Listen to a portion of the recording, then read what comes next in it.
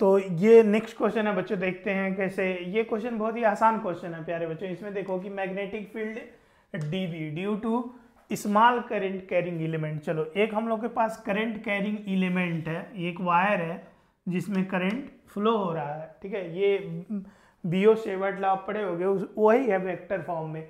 फिर भी एक बार मैं डिस्कस कर देता हूँ। अगर इसमें करंट टोटल करंट आई है तो यहाँ मैं बहुत ही छोटा एलिमेंट लिया, जिसको मैं करेंट एलिमेंट बोलता हूँ आई डी एल वैक्टर तो ये एक करेंट एलिमेंट है आइडियल और बहुत छोटा है तो ये इसकी, ये वेक्टर है, और इसकी लेंथ इधर है आइडियल की, ठीक है?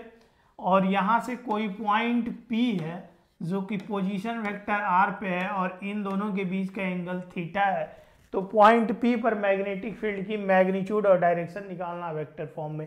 तो अगर ये वायर हम सबको पता है राइट हैंड थंब रूल से, ये वायर इधर को इधर, इस साइड जो है, वो मैग्नेटिक फ़ील्ड अंदर बनाया होगा, प्यारे बच्चों।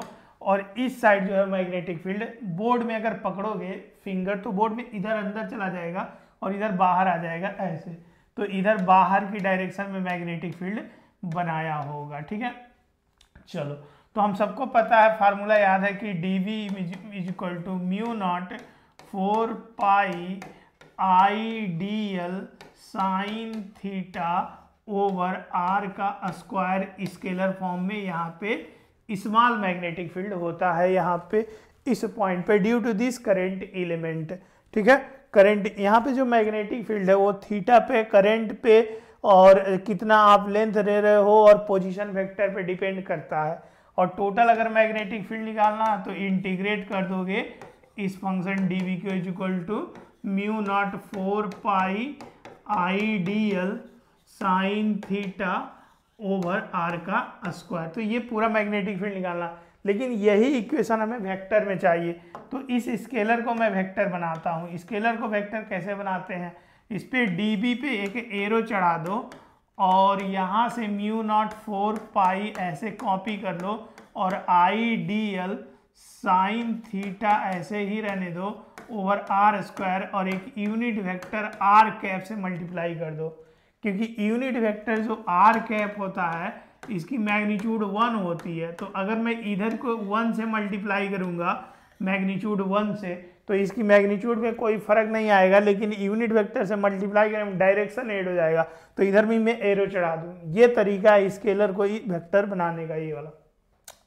चलो तो अब हम सबको पता है कि यूनिट वेक्टर की जो वैल्यू होती है vector R divided by R के इक्वल होता है। तो यह आ जाएगा म्यू नॉट फोर पाई और I D L sine theta और वेक्टर आर और डिवाइडेड बाई ये आर नीचे आर की पावर क्यूब चला गया।